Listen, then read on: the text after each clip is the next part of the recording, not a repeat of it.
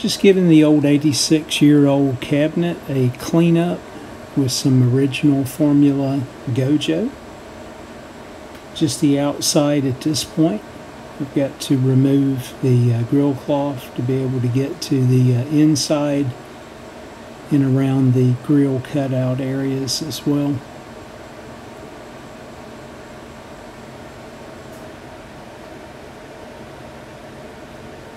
Definitely some battle scars, but uh, I think it's going to be presentable as is.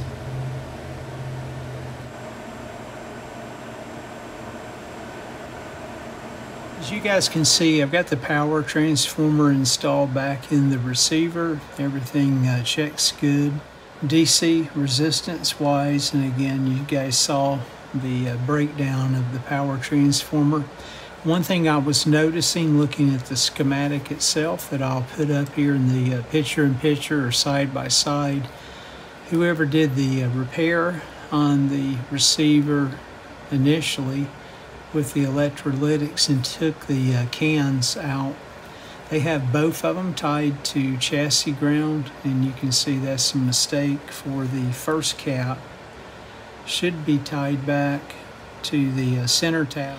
So I'm gonna go ahead and power up the receiver on a temporary basis. Hey, I won't bore you guys with that. And I'm going to just denote the DC voltage across this capacitor as it's tied in and then I'm going to move it back over here knowing that both of these resistors are uh, out of tolerance as well and this one. It looks like most of them are based on my initial checks. Then I'll get these replaced, get the tie-in point changed and then re-reference the uh, voltage measurements.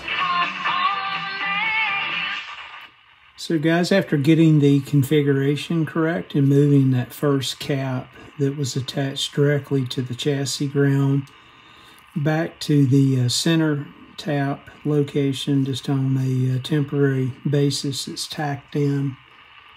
I'm looking at about 131 volts more DC. So low B plus was definitely the clue. Plus just looking at how the capacitor was actually tied into the circuit as well.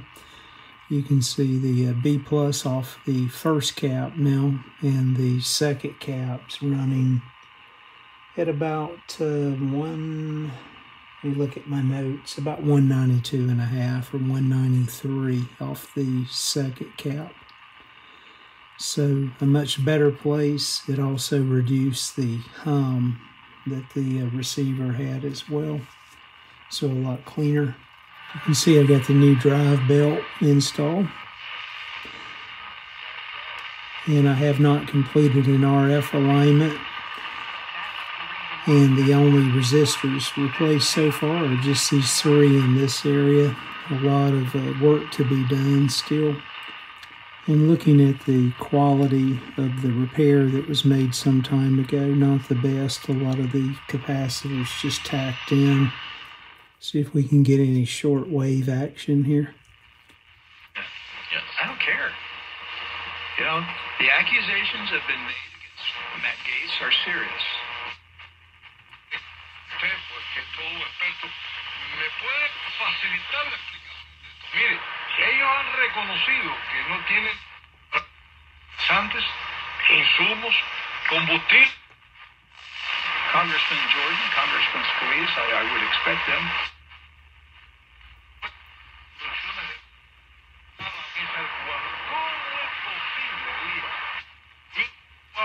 no ponga dinero en comprar insumos So a little shortwave action this time of day.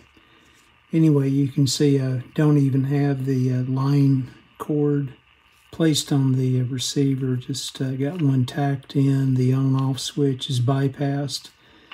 Still got to move, remove the controls here out of the way and uh, do some detailed cleaning so uh, much work ahead. Just wanted to share the uh, progress at least.